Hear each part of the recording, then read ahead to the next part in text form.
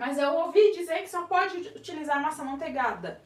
Não, tá? Você tem a liberdade de usar qualquer massa que você goste, desde que tenha a estrutura correta é, conforme o resultado final que você queira, certo? Posso fazer bolos mais altos no pão de ló? Claro que você pode, só que você tem que entender que estrutura que você quer, quanto de umidade você quer, qual recheio que você vai utilizar, tá? É, é super importante isso, você tem a liberdade de utilizar qualquer massa.